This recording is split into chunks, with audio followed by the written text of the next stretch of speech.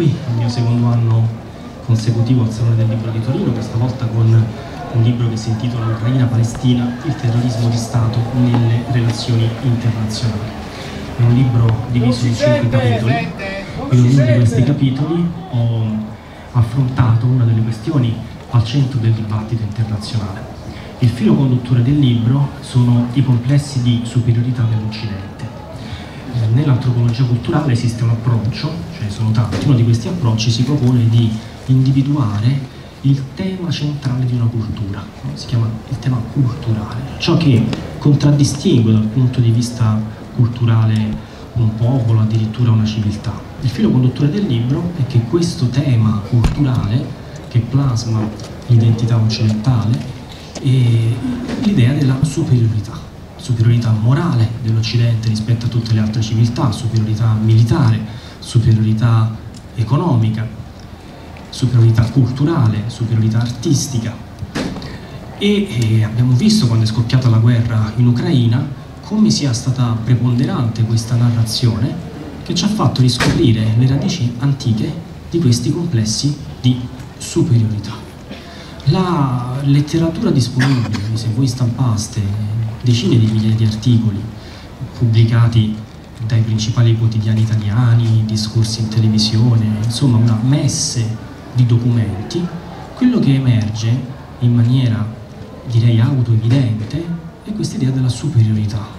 La Russia è una civiltà moralmente inferiore, la Russia ha un esercito ridicolo, inferiore rispetto a quello della Nato, quindi la Russia può essere sconfitta utilizzando l'esercito più debole del mondo, quindi la nostra idea, l'idea dell'Occidente, della Nato è stata quella di sconfiggere l'esercito più forte del mondo utilizzando l'esercito più debole dell'universo, ma i nostri pregiudizi nei confronti degli altri, i nostri complessi di superiorità erano e sono talmente esorbitanti che non ci siamo resi conto che la Russia è invece sovrastante rispetto all'Ucraina e a quanto pare la sua industria militare è addirittura sovrastante rispetto a quella della Nato. Uno dei, dei dati che fanno riflettere di più è la capacità della Russia di produrre munizioni per l'artiglieria. Gli Stati Uniti e l'Europa insieme, non separatamente, insieme sono in grado di produrre 1,2 milioni di munizioni pesanti, 1,2 milioni di munizioni per l'artiglieria all'anno, la Russia è in grado di, produrne, di produrre 3 milioni di munizioni. Quando è scoppiata la guerra in Ucraina io dissi sin dal primo giorno questa guerra ha un esito già scritto, l'Ucraina sarà semidistrutta, verrà schiacciata dalla Russia, la Russia sta combattendo con entrambe le mani dietro la schiena, mentre la, la narrazione dominante era questa è propaganda russa, come fa Orsini a affermare una cosa del genere quando tutti sanno che l'Occidente è una civiltà superiore. E nel primo capitolo io individuo, metto a fuoco questo tema della superiorità dell'Occidente e faccio risalire dire, il, punto di, il punto di svolta storico verso la fine del 1400 quindi il XV secolo, quando iniziano le grandi scoperte geografiche dell'Occidente, inizia sempre di più questo, questa elefantiasi dell'io dell'Occidente, un Occidente che riesce a sottomettere intere popolazioni, le colonie, le guerre vittoriose e così via. E questi complessi di superiorità poi sono diventati esorbitanti con l'esperienza nazista, ma un'interpretazione storica errata induce a ritenere che il nazismo sia stato un unicum, un fenomeno senza radici, secondo molti, mentre i migliori studiosi, i migliori storici hanno mostrato appunto che nella cultura nazista, la cultura nazista è il precipitato di tante esperienze precedenti, di tanti pregiudizi, di una cultura fondamentalmente razzista che culmina con l'esperienza nazista, ma che è cresciuta, si è sviluppata nel corso dei secoli. Una delle mie tesi è che noi, che l'Occidente non abbia reciso le radici con la cultura coloniale e di conseguenza anche con la cultura nazista. In che senso? Nel senso che non sto dicendo che la nostra cultura sia uguale a quella dei nazisti, sto dicendo che c'è un elemento che è rimasto immutato. Mentre in apparenza diciamo, sono cambiati i regimi, sono cambiati i protagonisti, ma questo elemento che noi troviamo nella cultura dei colonizzatori europei, che troviamo nella cultura nazista, è sopravvissuto il tema della superiorità dell'Occidente. Questo tema della superiorità dell'Occidente è stato declinato in modi diversi, ma esiste questo nocciolo duro, questo, questo, questo fiume carsico che scorre nel sottosuolo della civiltà occidentale, questo, questo complesso di superiorità, e che riemerge in superficie periodicamente.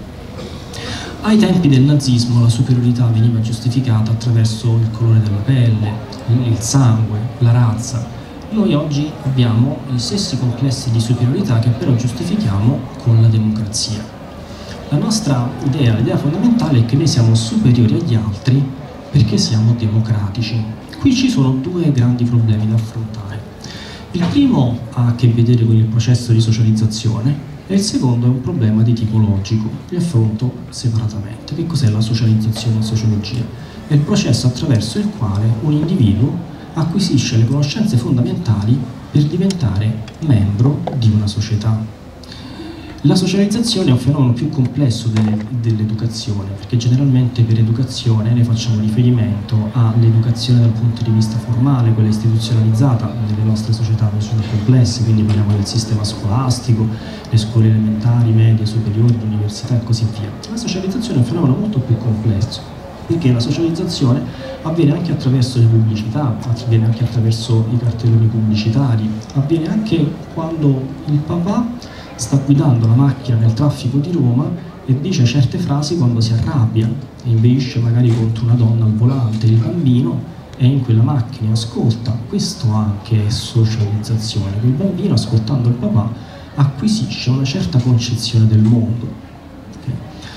Ora, se qualcuno mettesse in dubbio il fatto che io mi chiami Alessandro Orsini, questo per me sarebbe un fatto stupefacente, perché la mia identità io l'ho costruita a partire dal processo di socializzazione. Quindi se qualcuno mi dicesse qual è il suo nome, io risponderei Alessandro Orsini. E se qualcuno mi dicesse no, non è Alessandro Orsini, io riderei. Però se la società esercitasse delle pressioni su di me per convincermi che io in realtà non mi chiamo Alessandro Orsini, questo per me diventerebbe un bel problema.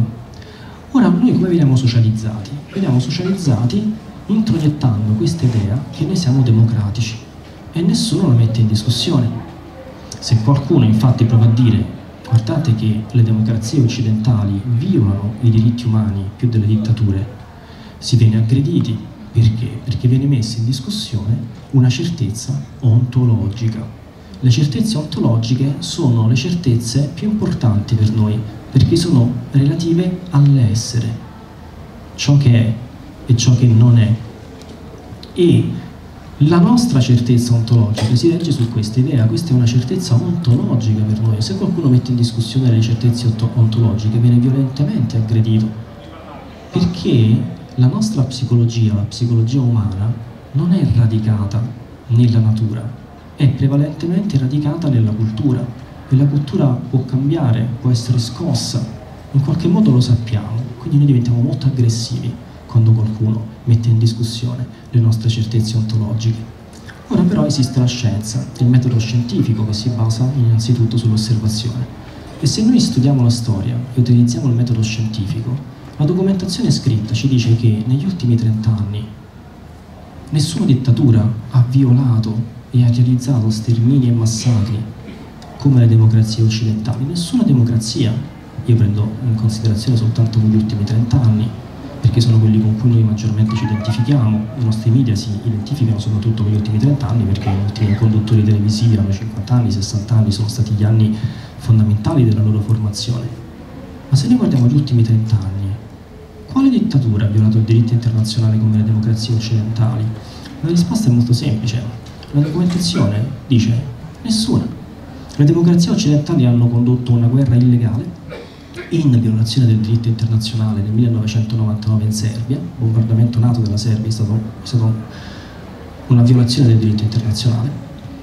Nel 2003 le democrazie occidentali hanno nuovamente violato il diritto internazionale con un'altra guerra illegale contro l'Iraq, tra l'altro mentendo spudoratamente come tutti sapete, sul possesso di armi di distruzione di massa da parte di Saddam Hussein, e due seri legami con Al-Qaeda, in realtà Saddam Hussein era nemico di Al-Qaeda, tant'è vero che l'ISIS, che Al-Qaeda in Iraq nasce come reazione all'invasione americana. Al-Qaeda in Iraq non esisteva prima dell'invasione americana, perché Saddam Hussein era nemico di Al-Qaeda. Al-Qaeda in Iraq nasce come reazione all'invasione americana dell'Iraq e siamo a due. Un'altra guerra illegale, in violazione del diritto internazionale nel 2003. Una terza guerra illegale le democrazie occidentali l'hanno realizzata contro la Libia, anche il bombardamento nato della Libia è stata una guerra in violazione del diritto internazionale. Nel 2015 gli Stati Uniti hanno impiantato delle basi in Siria, anche questo in violazione del diritto internazionale, basi che continuano ad avere. E poi arriviamo all'apoteosi, arriviamo alla forma estrema della violazione dei diritti umani e del diritto internazionale, che è il massacro di Gaza. Per me è un genocidio, per altri è un massacro, per altri ancora è pulizia etnica. Considerate che nella letteratura scientifica la pulizia etnica è talmente simile al genocidio che è considerata una variante del genocidio. Non esiste una dittatura che stia compiendo gli orrori che le democrazie occidentali compiono a Gaza. Ad oggi, in pochi mesi, in poco più di 200 giorni di guerra, 35.000 civili massacrati, più di 14.000 bambini uccisi, con quali armi? Con le armi delle democrazie occidentali, perché anche l'Italia, la Germania gli Stati Uniti continuano a dare a Netanyahu le armi con cui Netanyahu sta sterminando la popolazione palestinese. E sta sterminando la popolazione palestinese perché le democrazie occidentali violano ancora una volta i diritti umani e il diritto internazionale in Palestina occupando terre che sono dei palestinesi. Questa è una guerra per consentire a Israele di non porre fine all'occupazione dei territori palestinesi, quindi è una violazione del diritto internazionale nella violazione del diritto internazionale, nella violazione del diritto internazionale. Biden ha dato tantissime bombe MK84 a Netanyahu, sono bombe che pesano, se non sbaglio, addirittura 900 kg, sono in grado di fare, grado, fanno crateri di 15 metri di diametro, distruggono tutto quello che c'è sotto, quindi distruggono case, scuole, moschee, ospedali, tutti gli ospedali di Gaza sono stati semidistrutti, quindi l'osservazione scientifica, lo studio scientifico dei documenti storici ci dice inequivocabilmente che le democrazie occidentali sono coloro che in assoluto nel mondo violano più di ogni altro i diritti umani e il diritto internazionale. Uno, uno, dei, uno dei libri che scrissi per Rubettino nel 2012 si intitola Il rivoluzionario benestante, strategie cognitive per sentirsi migliori degli altri. Come vedete è un tema che ha molto a che vedere con i complessi di superiorità. Cioè che cosa ho studiato? Ho studiato le strategie cognitive, le strategie mentali, i processi di pensiero attraverso cui noi umani cerchiamo di apparire migliori degli altri. Tutti i gruppi umani hanno questo bisogno di apparire migliori di quel che sono e possibilmente migliori degli altri. Quindi la domanda che adesso io cercherò di affrontare è come facciamo noi a non vedere tutto questo? Ci serve una strategia cognitiva, ci serve un processo di pensiero, per non vedere una realtà così evidente, cioè che le democrazie occidentali violano i diritti umani e i diritti internazionali più delle dittature. E questa strategia cognitiva consiste nel spostare l'attenzione dalla politica internazionale alla politica interna. Infatti, voi sapete, sono tanti conduttori televisivi i quali sfidati, quando viene detto loro, sì, ma le democrazie occidentali hanno fatto tutte le cose che io ho appena elencato, la risposta è sì, però in Italia c'è la libertà di stampa. Che, che cosa consiste questa strategia cognitiva? Nel chiudere gli occhi su tutto quello delle democrazie occidentali, i massacri delle democrazie occidentali negli altri paesi, per richiamare l'attenzione soltanto su quello che ci fa comodo. La tesi è che una civiltà debba essere giudicata non soltanto per il modo in cui organizza la propria società, ma anche per quello che fa agli altri. Quindi io farò un esempio estremo per farmi capire da tutti, se noi in Italia abbiamo la libertà di stampa, ammesso che esista veramente, perché poi ci sono molti modi di misurare la libertà di stampa, cioè, la libertà di stampa non è che sia un concetto assoluto, astratto, in sociologia richiede un processo di operativizzazione, cioè sì, se c'è la libertà di stampa in Italia, ma in che senso, entro quali limiti? Secondo questo ragionamento, se Israele lanciasse la bomba atomica su Gaza, come è stato proposto più volte dai ministri del governo Netanyahu, noi dovremmo continuare a considerarci una civiltà superiore, perché quando andiamo in edicola possiamo comprare il libro, il giornale, il Corriere della Sera.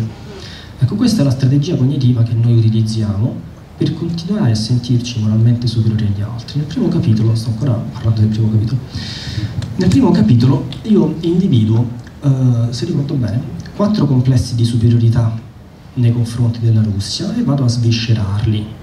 Per esempio, un complesso di superiorità, io vi parlerò soltanto di uno di questi complessi per farvi capire come sia organizzato il libro e quale sia la logica del primo capitolo. Poi vi parlerò anche degli altri capitoli, magari un po' più rapidamente, vediamo. E prendiamo del pregiudizio militare, ho già detto qualcosa, quindi nel libro io presento tutti i dati che mostrano appunto che la Russia in Ucraina ha sovrastato la Nato, eccetera, eccetera. E pregiudizio morale, prendo in considerazione con riferimento a quello che la Russia sta facendo in Ucraina e quello che le democrazie occidentali stanno facendo in Palestina, mostro come il massacro di Gaza sia spaventosamente più tragico, mostruoso e disumano di quello in Ucraina, perché i dati parlano molto chiaramente, l'esercito russo sta colpendo eh, quasi esclusivamente militari, soldati, ovviamente ci sono anche morti tra i civili e questo ci addolora molto e lo condanniamo, ma eh, Israele spara intenzionalmente sui civili quando questo accade in Russia accade purtroppo accidentalmente. La Russia non ha un interesse a uccidere le stesse persone che ambisce a governare, perché, eh, perché chiaramente questa non è la logica, non sarebbe una condotta razionale. E, ma eh, prende in considerazione anche il pregiudizio intellettivo. Quindi immaginate il libro scritto in organizzati i contenuti sono organizzati in maniera molto semplice, ogni paragrafo, un titolo dedicato a un pregiudizio vanno a sviscerarlo e uno di quelli che mi ha colpito maggiormente è il complesso di superiorità intellettivo, cioè eh, Putin è cretino, Putin è stupido. Io presento tutta la documentazione nel libro per spiegare che i cretini siamo noi. Che cosa intendo dire?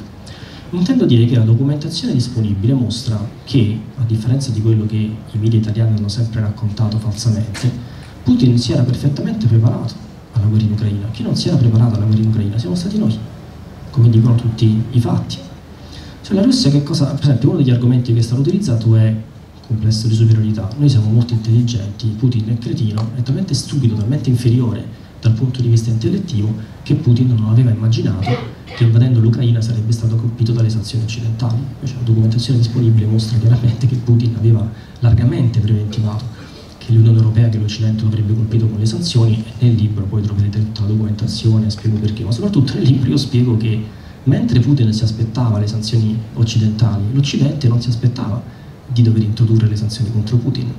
Quindi mostrano non soltanto che questi complessi di superiorità sono infondati, perché la documentazione disponibile mostra appunto che, che sono soltanto pregiudizi, ma peggio ancora faccio un'operazione ulteriore, cioè mostro che la nostra è una classe dirigente fallita, prevalentemente di falliti e di corrotti, e io utilizzo come qualcuno saprà, il termine corruzione è secondo la sociologia di Vilfredo Pareto, eh, per corrotti, Pareto non intende, cioè, non intende il politico che prende la bustarella, no? Corrotto, una classe dirigente corrotta è una classe dirigente per Pareto che ha smarrito sue, la sua forza vitale, cioè una classe dirigente che non è più in grado di dirigere.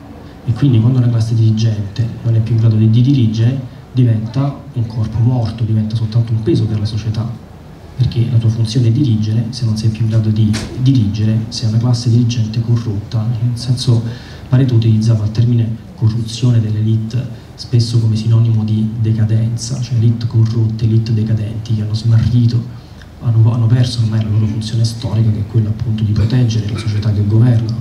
Se noi guardiamo gli errori che la classe dirigente europea ha fatto in questi anni, il discorso di Pareto balza agli occhi, davvero noi siamo governati da una classe dirigente completamente corrotta e completamente incapace. Questi complessi di superiorità eh, sono molto pericolosi per una serie di ragioni. In primo luogo perché sono incompatibili con lo spirito della Costituzione italiana. La Costituzione italiana concepisce tutti i popoli sul piano di eguaglianza e sul piano di parità, quindi dal punto di vista pedagogico la Costituzione italiana scoraggia un tipo di narrazione che si fonda sull'idea della superiorità rispetto agli altri. La seconda ragione per cui questi complessi di superiorità sono pericolosi è perché hanno dei legami molto forti con la cultura nazista e con la cultura fascista. Semplicemente noi non ce ne accorgiamo perché i nazisti giustificavano, come ho detto, questa superiorità con la pelle, noi la giustifichiamo con la democrazia. Ma entrambi, sia noi italiani francesi, tedeschi, americani del 2024, sia nazisti, in nome di questa superiorità eh, giustifichiamo qualunque tipo di sterminio. c'è un'intervista, questo punto di vista dell'antropologia culturale, un'intervista importantissima, ne parlo nel mio primo libro per Paper First, quello che si intitola Ucraina, critica della politica internazionale, un'intervista alla Albright, che sarebbe stata segretaria di Stato americano. E eh, prima dell'invasione dell'Iraq del 2003, l'Iraq era stato colpito da sanzioni pesantissime da parte dell'Occidente. Queste sanzioni pesantissime avevano fatto venire meno in Iraq tante cose, tra cui medicinali, morale della favola, secondo i dati ONU, queste sanzioni hanno causato la morte di 500.000 bambini iracheni. 500.000 bambini iracheni, mezzo milione di bambini iracheni morti per le sanzioni occidentali. E questa celebre intervistatrice chiede alla Albright, sono morti 500.000 bambini a causa delle sanzioni occidentali, delle democrazie occidentali, più dei bambini uccisi dalla bomba atomica in Giappone, lei pensa che ne sia valsa la pena? E la Albright risponde, non è facile rispondere a questa domanda, però sì, ne valsa la pena.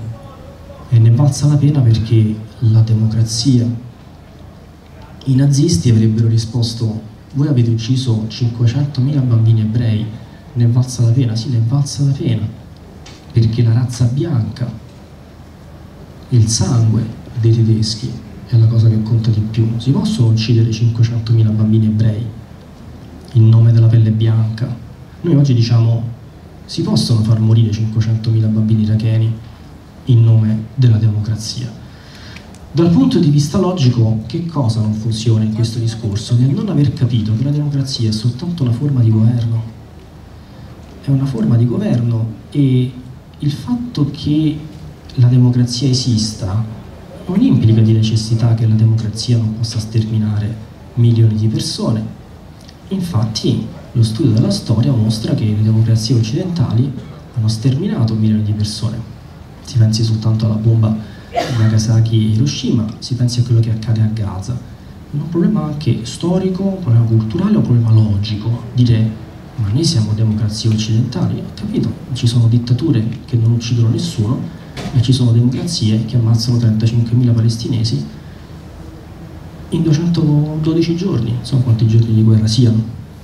Un altro grande problema, spiego nel primo capitolo del libro, dei complessi di superiorità, che sono pericolosi, sono pericolosi perché ci spingono a sottovalutare i pericoli e le minacce, che è esattamente quello che abbiamo fatto con la Russia. Quando è scoppiata la guerra io avevo lavorato molto sui complessi di superiorità dell'Occidente. E quindi ho fatto un lavoro autocritico per capire dove potessero albergare questi complessi di superiorità nella mia cultura. E eh, siccome me ne sono in larga parte liberato guardandoli in faccia ho detto guardate che la Russia distruggerà l'Ucraina ed è esattamente quello che è accaduto perché l'Ucraina è ormai spacciata.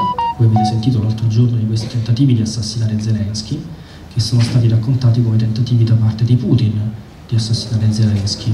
Purtroppo non è così, perché chi vuole uccidere Zelensky in questa fase non è Putin, Putin ha un interesse che Zelensky rimanga al potere, perché Zelensky è un uomo debolissimo, quindi Putin ambisce a trattare la resa con Zelensky sia per una ragione simbolica, perché è il suo nemico e quindi vuole sottometterlo, sia perché è più semplice, Zelensky è una persona inesperta, incompetente, un leader molto debole e molto incapace. Chi vuole uccidere Zelensky in questo momento sono le persone che sono accanto a Zelensky, c'è una parte delle persone del, a Kiev che ha la consapevolezza che l'Ucraina ormai è spacciata e pensa che assassinandolo possa l'Ucraina trattare in una condizione di più, più favorevole con Putin perché tra Zelensky e Putin c'è anche un odio personale. E tutto questo accade perché l'Ucraina è spacciata. La, guerra, la fine della guerra in Ucraina coinciderà con la fine dell'Ucraina. L'Ucraina sarà smembrata, Zelensky si arriverà lui al tavolo delle trattative, verrà sottomesso e umiliato e dovrà accettare le condizioni di Putin. Questa però è soltanto la migliore delle ipotesi, quella ottimistica perché l'ipotesi pessimistica è che l'Ucraina venga distrutta dalle testate nucleari, perché si potrebbe verificare anche la circostanza che la Nato decide di attaccare la Russia e la reazione della Russia sarebbe colpire l'Ucraina con le testate nucleari, ma in entrambi i casi l'Ucraina è spacciata, perché se Putin colpisse l'Ucraina con le testate nucleari la guerra finirebbe in poco tempo, comunque con lo smembramento dell'Ucraina e la sua sottomissione alla Russia. Quindi quando è scoppiata la guerra io ho detto guardate che questi sono complessi di superiorità, noi dobbiamo proteggere il popolo ucraino, dobbiamo subito avviare una trattativa, non dobbiamo investire nella guerra. Io non ho mai detto che noi avremmo dovuto abbandonare l'Ucraina o addirittura lasciarla senza armi. Io ho detto noi dobbiamo investire nella diplomazia, voi state investendo nella guerra, la vostra strategia è quella di sconfiggere la Russia sul campo, la mia strategia è quella di chiudere subito l'accordo con Putin perché l'Ucraina sarà distrutta, che è esattamente quello che avete davanti agli occhi, la distruzione dell'Ucraina. Ora io non posso entrare in dettagli, ma posso soltanto dirvi che gli ucraini sono semplicemente spacciati è questione soltanto di tempo. Però i nostri complessi di superiorità ci hanno portato a interpretare in maniera errata le mosse di Putin. Intanto i nostri complessi di superiorità ci hanno portato a scrivere, pensate al Corriere della Sera, che la Russia sarebbe andata in bancarotta in pochi giorni. Io poi racconto tutto nel libro, ricostruisco tutti questi articoli. Poi i missili, ricordate? La prima volta che Putin lanciò i missili fu subito scritto Putin ha missili soltanto per un'altra settimana, cioè questi missili non finiscono più, perché la Russia è semplicemente una potenza militare spaventosa. E, um, e abbiamo pensato di poter sconfiggere la Russia sul campo, con le conseguenze che tutti abbiamo sotto gli occhi, ma la cosa più tragica è che il peggio deve ancora arrivare, perché Putin ha appena iniziato a distruggere l'Ucraina. Il 2024 e il 2025 saranno anni addirittura peggiori per l'Ucraina rispetto a quelli che ha vissuto finora. Infatti all'inizio della guerra io dissi, vedrete che con il passare del tempo la Russia diventerà sempre più forte e l'Ucraina diventerà sempre più debole, quindi voi vedete anche il caso di Avdivka, di come le roccaforti ucraine stiano cadendo più rapidamente rispetto al passato, semplicemente perché l'esercito ucraino oggi è infinitamente più debole rispetto a due anni fa l'esercito russo è infinitamente più forte rispetto a due anni fa. Noi pensavamo che Putin fosse stupido a causa dei nostri complessi di superiorità, mentre Putin è stato molto intelligente perché ha utilizzato una strategia che si chiama strategia incrementale Putin è entrato con 180.000 soldati in Ucraina e ha pensato di chiudere subito un accordo per non fare questa guerra, perché non aveva nessuna voglia di fare questa guerra, di portarla avanti, che gli costa tanti soldi, un grande investimento e tanti problemi. Questo punto Putin, che non è stupido, è semplicemente una persona intelligente, ha fatto dei calcoli e ha detto se io entro subito con un milione di soldati, io spaventerò le potenze occidentali e quindi rafforzerò i falchi, cioè fornirò un argomento a coloro che dicono dobbiamo investire tantissimo nella guerra in Ucraina perché Putin è entrato con un milione di soldati, sono così tanti perché vuole invadere anche la Polonia, e la Slovacchia e così via. Quindi Putin per non rafforzare i falchi nelle nostre democrazie ha iniziato con 180.000 soldati e in una conferenza del 17 dicembre del 2023 ha dichiarato che adesso i soldati russi in Ucraina sono 617.000 e ne sta aggiungendo altri un po' alla volta. Noi non ce ne siamo accorti, abbiamo smesso di parlare dell'Ucraina e Putin sta distruggendo l'Ucraina.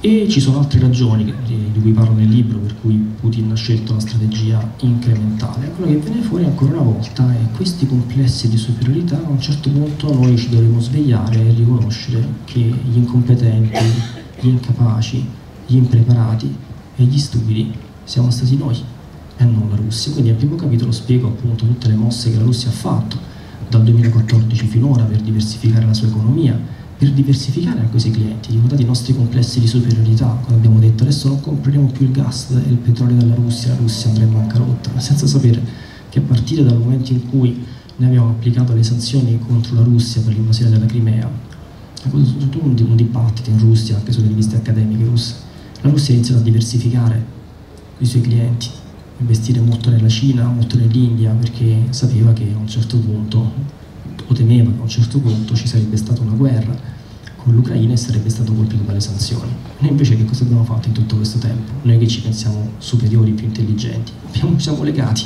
spaventosamente al gas russo, sempre di più. La Russia ha cercato altri clienti, noi abbiamo investito sempre di più nel gas e nel petrolio della Russia, con le conseguenze che tutti abbiamo davanti agli occhi, anzi quasi nessuno, perché siccome come dico sempre, il sistema dell'informazione in Italia sulla politica internazionale è completamente corrotto, I media non ci spiegano quali danni stia subendo l'economia italiana a causa della guerra in Ucraina, perché la funzione dei media in Italia è quella di creare consensi intorno alla guerra in Ucraina, intorno alle politiche della Nato, quindi non bisogna spiegare agli italiani i danni che stanno ricevendo a causa della guerra in Ucraina. Questo è il tema del primo capitolo, ma è anche il filo conduttore del libro, perché terminato il primo capitolo, messo a fuoco questo problema dei complessi di superiorità, io spiego che i complessi di superiorità hanno ricadute anche nella ricerca scientifica e nel dibattito pubblico. Ad esempio, una domanda che io sollevo è perché nessuno in Italia si è mai posto questa domanda? Israele è uno Stato terrorista? E la mia risposta è, sono, le ragioni sono varie, non è soltanto una, ma una, quella che mi interessa indagare, mi interessa il fenomeno culturale in questo libro, chiaramente esistono anche delle lobby che impediscono che questi temi vengano trattati, non vedete quello che è successo a me, e, ma la ragione culturale è che queste sono domande che mettono in discussione le nostre certezze ontologiche e quindi i nostri complessi di superiorità. E infatti gli italiani pensano che esista soltanto un tipo di terrorismo, che è il terrorismo degli attori non statali. Ad esempio l'ISIS e Al-Qaeda. In realtà nella letteratura scientifica esistono due tipi di terrorismo, che sono il terrorismo degli attori non statali e il terrorismo degli stati anche gli stati usano il terrorismo.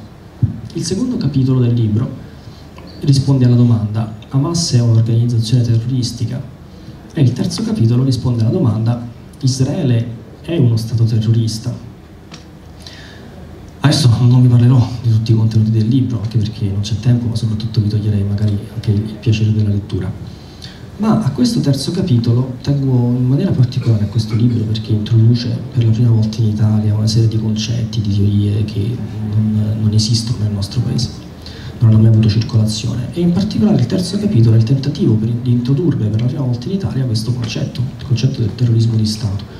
E una delle più grandi gioie della mia carriera intellettuale è di aver introdotto questo concetto nel dibattito italiano, perché io vedo che sempre più ragazzi, anche i miei colleghi, qualche giornalista in televisione dice quello di Israele è terrorismo di Stato, questo è un, concetto che ho introdotto io nel dibattito pubblico, non esisteva. E eh, nel terzo capitolo fornisco una serie di elementi per riflettere su questo tema.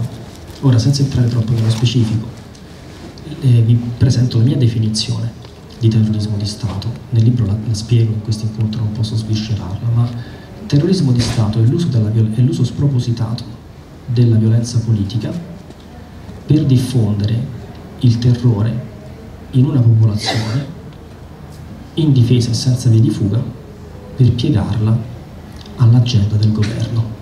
Questa è la definizione che propongo nel libro e poi la spiego, cioè che cos'è il terrorismo di Stato? Il fatto che un governo usa la violenza politica in maniera spropositata, che vuol dire in che senso spropositata? Violando i diritti umani, i diritti internazionali, il diritto di guerra, quindi fondamentalmente violenza omicida quindi questo governo utilizza la violenza in maniera spropositata per terrorizzare la popolazione e utilizzare il terrore come arma psicologica per piegare quella popolazione ai propri scopi, gli scopi del governo.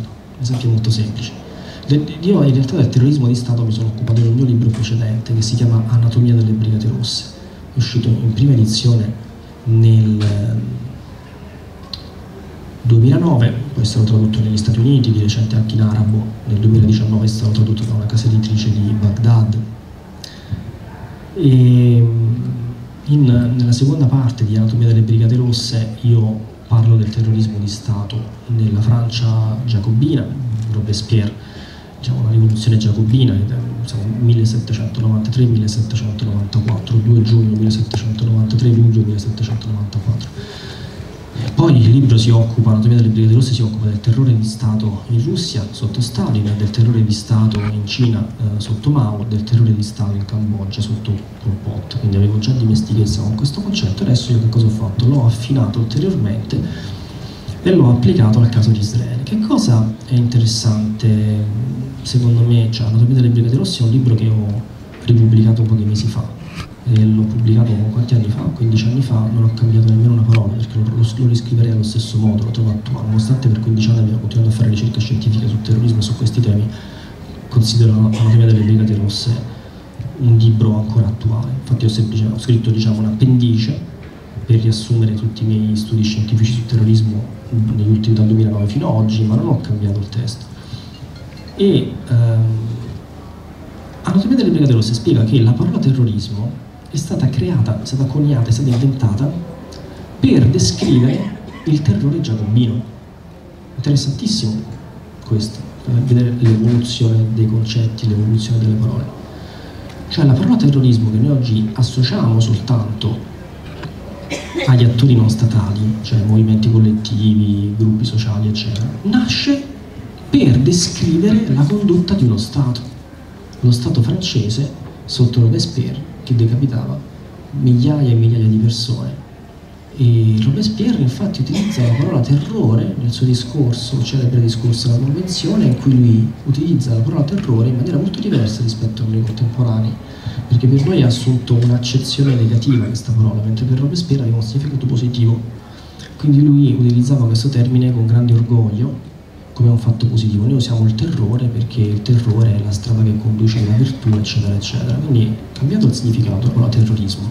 All'inizio nasce per descrivere l'attività di uno Stato ed ha un significato positivo. Oggi descrive l'attività dei, degli attori non statali ed ha un significato negativo. Io cerco di ritornare all'origine di questa parola, come insegna Derrida, tutte le generazioni attribuiscono vari significati alla stessa parola, si vengono a creare degli strati intorno a una parola. No? È importante fare questo lavoro di tornare indietro, togliere questi strati e capire quello che c'è all'inizio. E all'inizio la parola terrorismo è per designare, per indicare il comportamento di uno Stato. A questo punto però io individuo dieci comportamenti di Israele perché in sociologia quello che è fondamentale è operativizzare i concetti. Che cosa significa nella ricerca sociale operativizzare un concetto? Significa che tu prendi un concetto astratto e lo devi trasformare in uno strumento di ricerca empirica, di trasformarlo in una variabile, perché in sociologia noi i concetti li dobbiamo osservare per poterli misurare, per poterli confrontare. Quindi io dico, questo nella letteratura scientifica il termine terrorismo di Stato è spesso utilizzato in maniera mm, non troppo chiara. Secondo me, spiego, uno Stato è terrorista se fa 10 cose, si assume 10 tipi di comportamento. Elenco questi 10 comportamenti e mostro che Israele rientra perfettamente in questa categoria perché l'azione di Israele a Gaza e in Cisgiordania corrisponde perfettamente a questa condotta complessiva che si compone di 10 comportamenti di, differenti. Tutti insieme questi comportamenti creano il terrore in una popolazione. Vi parlerò soltanto di uno di questi 10 comportamenti, perché è una delle questioni più attuali nel dibattito italiano. Voi sentite ripetere continuamente che il problema in Palestina è Netanyahu. Io adesso cercherò di dimostrarvi che questa interpretazione dominante ancora una volta è legata ai nostri complessi di superiorità. Per quale motivo? Noi sentiamo ripetere tutti i giorni che il problema è Netanyahu, che Netanyahu è il traditore di Israele e se noi togliamo Netanyahu di mezzo tutti i problemi saranno risolti. Perché noi abbiamo abbracciato questa narrazione falsa? Perché non vogliamo vedere e questa documentazione storica lo rivela in maniera nitida, che il problema non è Netanyahu, è lo Stato israeliano. Il problema è la classe dirigente di Israele perché il massacro del popolo palestinese è iniziato prima che Netanyahu diventasse premier israeliano.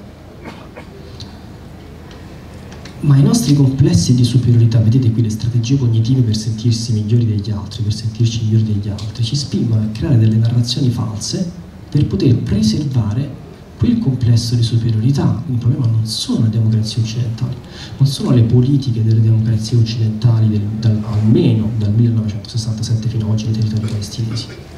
Il problema non è questo, il problema è Netanyahu, perché le democrazie occidentali sono buone, non potrebbero mai collaborare allo sterminio di un popolo, in questo caso lo sterminio del popolo palestinese. E, questo, questa idea di ridurre la politica internazionale al capriccio individuale è sbagliata e noi la ritroviamo anche nella guerra in Ucraina. Che, che cosa abbiamo detto noi per preservare i nostri complessi di superiorità?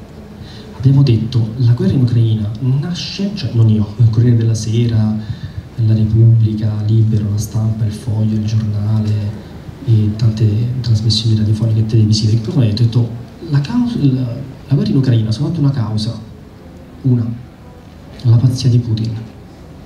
Infatti questi giornali dicevano poi a un certo punto Putin verrà assassinato perché l'Occidente è una civiltà superiore. Quindi è ovvio che il 100% dei russi siano schierati dalla parte dell'Unione Europea e della Nato e dell'Occidente. Follia allo stato puro, ma questo è quello che ci consegna la documentazione storica. Migliaia di articoli e di documenti scritti che hanno sostenuto questa tesi.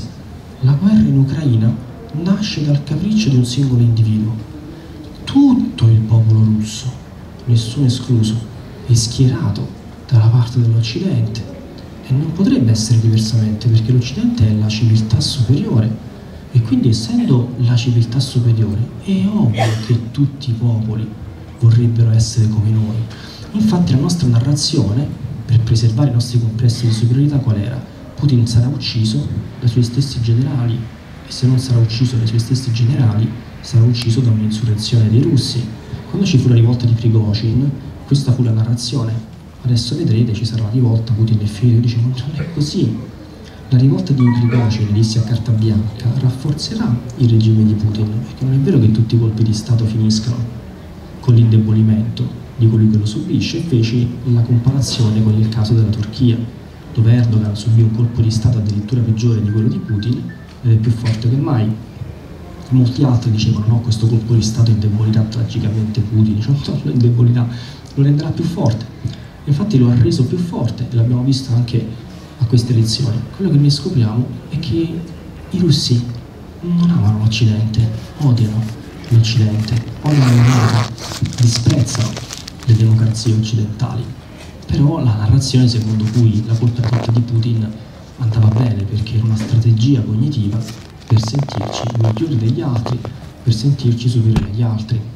E nel mio primo libro sull'Ucraina io presento tutta la documentazione disponibile per ricostruire le cause profonde della guerra in Ucraina, in particolare in quel libro io ho ricostruito 15 crisi internazionali tra eh, la Russia e l'Occidente e le ho sviscerate singolarmente mostrando quanto siano antiche le cause della guerra in Ucraina. Io faccio partire l'investigazione dal 1999, il bombardamento nato della Serbia Oggi noi stiamo facendo lo stesso errore con la guerra in Palestina, siccome non vogliamo rinunciare alle nostre certezze ontologiche, pensiamo che il problema sia soltanto Netanyahu, no? così come prima pensavamo che il problema fosse Putin, no, non è così, il problema sono le democrazie occidentali al gran completo.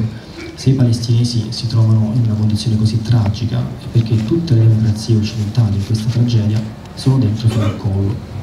Proprio l'altro giorno nel mio canale YouTube, non so se ci siano persone che lo seguono, ma se ci fossero le ringrazio, ho fatto un video per spiegare quale sia il vero obiettivo di Israele a Gaza, perché l'obiettivo dichiarato, insomma, la sociologia insegna, il realismo politico insegna, che bisogna andare sempre dietro le dichiarazioni ufficiali dei politici. Ecco, le dichiarazioni ufficiali quali sono? Che questa guerra è per distruggere Hamas. La mia tesi, la mia controtesi è molto diversa. La mia controtesi è questa, che l'obiettivo fondamentale di Netanyahu non è la distruzione di Hamas, tant'è vero che come voi saprete Hamas, eh, Netanyahu ha lavorato per rafforzare Hamas, ci sono ormai documenti che lo dicono inequivocabilmente, prima del 7 ottobre del 2023 Netanyahu aveva parlato al suo partito, aveva spiegato che la strategia da portare avanti era rafforzare Hamas, consentire a Hamas di ricevere tanti miliardi anche dal Qatar, perché in questo modo si sarebbe mantenuta la separazione tra Hamas e Gaza e l'autorità nazionale palestinese di Abu Mazen in Cisgiordania, perché la missione esistenziale di Netanyahu è di impedire che nasca uno Stato palestinese. Ora, siccome noi non facciamo altro che ripetere ipocritamente che i palestinesi hanno diritto a uno Stato, ma poi dopo non riconosciamo l'esistenza dello Stato palestinese, Netanyahu che cosa sta facendo? Sta distruggendo, ambisce a distruggere il 100% delle case dei palestinesi, il 100% degli ospedali, il 100% delle scuole, delle moschee, dei sistemi fognari, il sistema idrico, il sistema elettrico. Perché? Perché in questo modo cambierà la scala delle priorità dei palestinesi. Eh, per chiarire questo concetto, questa strategia, ho fatto ricorso a un concetto fondamentale della sociologia fenomenologica, che è il concetto della realtà della vita quotidiana. La nostra coscienza è in grado di percepire realtà differenti, livelli diversi della realtà, ad esempio la mia coscienza è in grado di percepire, di sapere che in questo momento esiste una realtà a New York, o una realtà in Siria, ma la realtà suprema è la realtà della vita quotidiana sono le persone che noi incontriamo quando andiamo al lavoro, la nostra casa, i nostri familiari, la realtà della vita quotidiana è la realtà che può ferire la nostra pelle quando saliamo sull'autobus, la realtà che noi troviamo sull'autobus per noi è infinitamente più importante della realtà che c'è a New York oppure in Ucraina, è la realtà della vita quotidiana. Ora, la realtà della vita quotidiana dei palestinesi è stata completamente sconvolta perché la loro realtà della vita quotidiana è i soldati israeliani per strada da cui sono massacrati, la mancanza di cibo, la mancanza di acqua, la mancanza di una casa. I palestinesi, quando sarà finito questo massacro, messo che finisca, non avranno come problema la costruzione di uno Stato. Sarà l'ultimo problema per i palestinesi. Quello che Netanyahu sta facendo, quello che le democrazie occidentali stanno facendo, è risospingere i palestinesi verso l'età della pietra, in maniera tale che debbano ripartire da zero, ricostruire tutto, ricostruire impianti fognari, il sistema elettrico, il sistema idrico, le case, non hanno cibo, non hanno acqua, le scuole, le moschee, gli ospedali. Quando questa guerra sarà finita, i palestinesi penseranno a tutto, tranne, di, tranne che investire le loro energie che non hanno, i loro soldi che non hanno, per la costruzione di uno Stato palestinese. Quando Gaza, un giorno, chi lo sa se quel giorno verrà mai, sarà ricostruita, molto probabilmente ci sarà un altro Netanyahu che riprenderà a distruggerla perché l'obiettivo fondamentale delle democrazie occidentali, al di là della loro retorica ipocrita, è che i palestinesi non debbano avere uno Stato. Perché se i palestinesi avessero uno Stato, le democrazie occidentali ne avrebbero molti danni per tutta una serie di ragioni geopolitiche che qui non voglio sviscerare. Il quarto capitolo è dedicato a quattro lezioni sulla scienza. Quando è scoppiata la guerra in Ucraina, noi abbiamo visto che analisti, conduttori televisivi, politici hanno completamente perso la testa e non hanno lavorato come professionisti, non hanno mantenuto quel distacco emotivo dal loro oggetto di studio. Quindi erano tutti impazziti, non facevano altro che urlare, offendere, diffamare e insultare. Nel quarto capitolo io presento quattro lezioni per diventare uno scienziato sociale. Vi spiego che la prima di queste lezioni è il distacco emotivo dal proprio oggetto di studio. Il fatto che io faccia, che un conduttore tedesco, uno studioso faccia il tifo per la Nato, non implica, non gli consente di fare delle analisi per dimostrare che la Nato distruggerà la Russia, deve rimanere emotivamente distaccato. Noi che cosa abbiamo sentito fare a giornalisti, analisti, professori universitari di relazioni internazionali? Che cosa, no? che cosa hanno, detto per ore e ore in televisione? Che la Russia era debolissima, professori di relazioni internazionali, professori di scienza politica che la Russia era debolissima, erano soltanto i loro desideri infantili, ammantati, presentati come analisi scientifiche. Un delirio. Le analisi serie e oggettive, basate sui rapporti di forza, sono state presentate come propaganda filorussa e questi deliri, secondo cui Putin sarebbe stato sconfitto facilmente da Zelensky, sono state raccontate come analisi scientifiche. Questo che cosa significa? Che le democrazie occidentali, ancora i nostri complessi di superiorità, non sono affatto al riparo dalla demagogia, dagli imbroglioni, dai corrotti. Infatti lo dico sempre, no? a volte in televisione ci sono persone che dicono io sono un professore universitario, sono titolato a parlare di queste cose, sì ma tu devi essere giudicato sulla base di quello che dici, perché magari sei un professore universitario però sei anche un corrotto. Oppure hai delle pubblicazioni scientifiche, ma il fatto che tu abbia delle pubblicazioni scientifiche non implica di necessità il fatto che tu non sia un corrotto che tu vada in televisione perché sei legato a un certo governo, perché sei legato a un certo tipo di interessi, perché certi gruppi di potere finanziano le tue ricerche. E come vedete, le democrazie occidentali non sono né un paradiso e nemmeno sono al riparo da tutte quelle dinamiche così penose e afflittive per le nostre libertà che troviamo nelle dittature. Infatti il sistema delle informazioni in Italia sulla politica internazionale funziona esattamente come nelle dittature dal punto di vista sociologico. Che cos'è una funzione? Una, una funzione è un'attività, in sociologia una funzione è un'attività. E il funzionalismo è un modo di analizzare la società, ce ne sono vari, questo è un tema che ho affrontato nel mio libro Teoria sociologica classica e contemporanea, ci sono tanti approcci in sociologia e tipi di spiegazione diversi, no? per esempio posso parlare di tre tipi diversi di spiegazione, c'è la spiegazione causale, c'è una spiegazione che si basa su rapporti di causa-effetto, quindi ad esempio io voglio spiegare la guerra in Ucraina, la voglio spiegare causalmente, cerco di ricostruire gli antecedenti storici come cause di fenomeni causa, effetto, spiegazione causale, ma questo è un tipo di spiegazione, nella scienza ce ne sono altre. C'è per esempio la spiegazione funzionale, che cerca di spiegare i fenomeni in base alla funzione che svolgono, quindi una spiegazione funzionale della guerra in Ucraina potrebbe essere qual è la funzione che la guerra in Ucraina svolge per gli Stati Uniti, per esempio separare l'Europa dalla Russia, spiega la funzione. E poi c'è anche la spiegazione teleologica. La spiegazione teleologica è una spiegazione che cerca di spiegare un fenomeno sulla base del fine cui tende quindi come spiego la guerra in Ucraina? Perché Putin persegue questo fine, è molto diverso dalla spiegazione causale che in genere si basa su antecedenti. C'è una spiegazione teleologica, si spiega non su quello che è successo prima, ma sugli obiettivi che vogliamo, vogliamo raggiungere nel futuro, verso i quali noi siamo protesi. E um, dal punto di vista funzionale, funzionalistico, il sistema delle informazioni in Italia sulla politica internazionale svolge la stessa funzione stessa attività che svolge nelle dittature. Nelle dittature l'informazione sulla politica internazionale è un'informazione distorta, fondamentalmente propaganda per sorreggere le scelte dei governi. Dal punto di vista sociologico, quello che l'informazione in Italia ha fatto nella guerra in Ucraina, dico sociologicamente, è esattamente la stessa cosa che ha fatto in Cina, in Corea del Nord, in Siria, in Russia, in Iran, cioè distorcere la realtà per sorreggere le scelte dei governi, in questo caso il governo Draghi e poi il governo Meloni e le scelte della Nato. Quindi sì, siamo una democrazia occidentale. Questo vuol dire che le democrazie occidentali sono uguali alle dittature? No, perché un sociologo non può fare affermazioni così disinvolte. Quello che un sociologo può fare è individuare alcuni aspetti specifici di una società, riflettere su quelli porli a confronto con gli aspetti di un'altra società, perché altrimenti non fai sociologia e ideologia dire le tra le democrazie occidentali e le dittature ci sono differenze, no. Il sistema dell'informazione sulla politica internazionale in Italia funziona organizzato come nelle dittature, svolge la stessa funzione e ha le stesse finalità. Questo è scientificamente osservabile, un'affermazione di questo tipo può essere confutata, però se conduceste una ricerca sociologica su questo vedreste che le cose stanno esattamente così.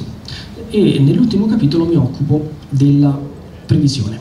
Questo è un tema molto importante perché quando io ho fatto la mia previsione sulla guerra in Ucraina, e molti miei detrattori, diffamatori, persone gentili varie, dissero, no, mi prendevano in giro, qualcuno diceva che, che mi ricordo delle battute, alcune anche divertenti, devo dire la verità.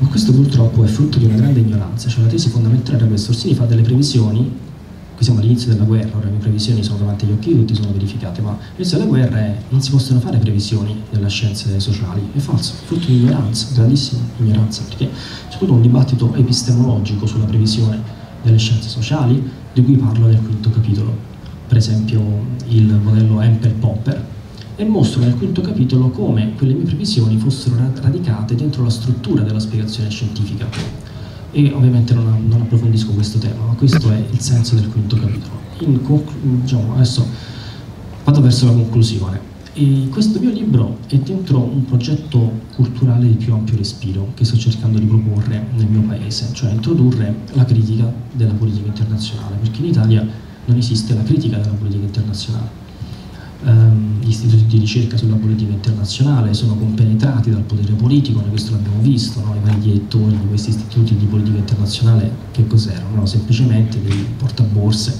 o erano stati dei portaborse di questo o quel ministro e avevano conservato questi legami fortissimi con i partiti politici, persone che hanno posti con stipendi stellari dentro questo quel consiglio di amministrazione e eh, in Italia non esiste la critica della politica internazionale perché per tutta una serie di ragioni, la più importante delle quali è il fatto che è un argomento senza mercato, la politica internazionale è gestita dai governi fondamentalmente. Perché? perché è un argomento che tra virgolette non tira infatti una delle mie speranze è che ehm, possa appassionare un numero sempre più grande di persone ai temi della politica internazionale per creare condizioni più favorevoli a un'informazione più libera che non ha mercato e magari uno studente si laurea in relazioni internazionali, in sociologia delle relazioni internazionali. Il fatto di grande ignoranza è anche pensare che i sociologi si occupino di relazioni internazionali senza sapere che esiste una disciplina che si chiama sociologia delle relazioni internazionali. Vabbè. Ma eh, un ragazzo che si laurea in sociologia delle relazioni internazionali, in teoria delle relazioni internazionali, e poi ha un problema a trovare lavoro. Esistono le eccezioni, ma generalmente questi posti di lavoro vengono creati dai governi, o vengono creati dei istituti di ricerca che sono collegati ai governi, che ricevono finanziamenti dai governi. E quindi voi ponetevi una domanda, perché tutte le volte che in televisione sentite parlare una persona anche in radio, una persona che lavora per questo, quell'istituto di ricerca, non capita mai che rivolga una critica alla Nato, al governo in carica? E com'è possibile che questi studiosi di politica internazionale dicano che il 100% delle crisi, nel 100% delle crisi l'Occidente abbia sempre ragione. Questo dal punto di vista statistico è significativo, è anomalo. Com'è possibile che tutte le volte che scoppia una crisi tra l'Occidente e l'Iran, l'Occidente e la Corea del Nord, l'Occidente e la Siria, l'Occidente e la Libia, l'Occidente e la Russia, l'Occidente e la Cina, com'è possibile statisticamente che nel 100% dei casi la ragione sia sempre e completamente dalla parte dell'Occidente. È chiaro che anche statisticamente non è possibile. Se voi utilizzaste il metodo scientifico, se ascoltaste le trasmissioni televisive e radiofoniche e leggeste i giornali usando il metodo scientifico e accumulaste articoli, discorsi delle trasmissioni, le trascriveste come facciamo noi sociologi, vi accorgereste di questo fatto stupefacente. Cioè, dal punto di vista statistico, nel 100% dei casi l'Occidente ha sempre ragione, questa è la prova certa che il sistema dell'informazione è completamente corrotto, perché non è possibile nemmeno dal punto di vista statistico che uno Stato, un, gruppi, un gruppo di Stati abbia sempre ragione, nel 100% dei casi, che le ragioni siano sempre dalla parte dell'Occidente. Quindi questi miei libri, questo è il secondo, poi spero ne farò un terzo, cercano di introdurre la critica della politica internazionale, cioè utilizzare la teoria sociologica per studiare, per parlare della politica internazionale e nel rispetto del progetto illuministico che come sapete prevede di portare davanti al Tribunale della Ragione qualunque fatto o affermazione senza fare sconti a nessuno. Molto molto difficile in un paese come l'Italia, ma non soltanto in Italia, eh, perché la situazione della Germania, della Francia, del Belgio è esattamente come quella in Italia, cioè il sistema dell'informazione sulla politica internazionale completamente compenetrato dal potere politico, però diciamo che sto, sto cercando di fare questo tipo di lavoro. Io vi ringrazio molto di aver avuto la pazienza di ascoltarmi, ma soprattutto ringrazio tutti coloro che hanno fatto un viaggio per venirmi a sentire. E io devo dire che non sono proprio in grandissima forma perché a mia volta ho fatto un viaggio molto lungo in macchina, ho guidato per quasi 5 ore e adesso devo tornare indietro, quindi sono arrivato già, già a fine giornata come energie, diciamo così.